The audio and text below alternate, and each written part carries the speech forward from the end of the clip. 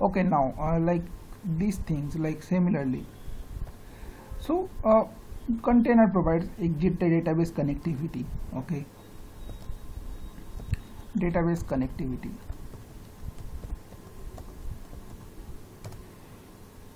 So the so the developer or user uh, you, you don't have to worry about the connectivity. You don't have to uh, major think about the uh, what is the connectivity? How the setup and all. Okay. So whenever user want a database connectivity they can use the JNDI from here which is configured in the WebLogic server. It's a one-time configuration. Suppose today you are using the Oracle database. Tomorrow you are migrated into the SQL Server database. So you don't have to change anything in your code. You have to just change the JNDI here. You have to change the JNDI configuration here and you will have it. Suppose there is a database migration. Suppose now you are using Oracle 11g tomorrow you are going to use Oracle uh, 12c then if something change is required in the connectivity with the new server name and all you have to just configure here in the container. Okay so these are the necessary resources provided by and application server. Here WebLogic server. Similarly JMS Java messaging API this is also one kind of configuration you can do in the WebLogic server. Messaging API what is actually messaging API or messaging service? Messaging service is it's a simple messaging queue suppose you in, in the in the whatsapp or facebook you have seen that you post some message to your friend and you can see a single a single dot or single tick right? That means that message has been posted from your mobile but that has not been received by the recipient. So that message why it is not received not received because somehow that recipient is offline. He is not able to take the message.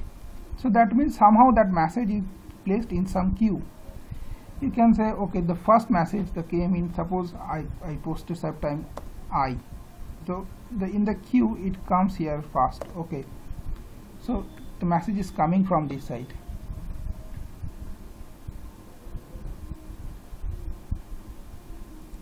and it is going out from this side.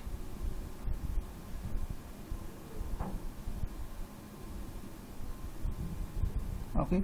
Suppose I some I type the I I word. Then I type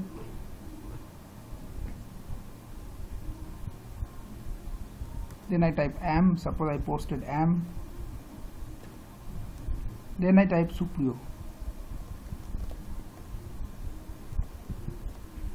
okay means these three messages are queue in a JMS queue okay when the recipient become online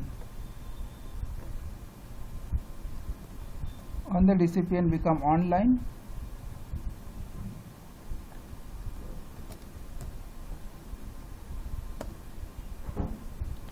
when the recipient become online this messaging queue understand okay this messaging this recipient has been come online so we can you can post the message from the queue.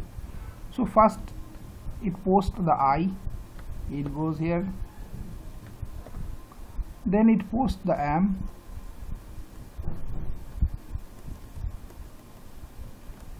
it goes here. After that it posts. Supriyo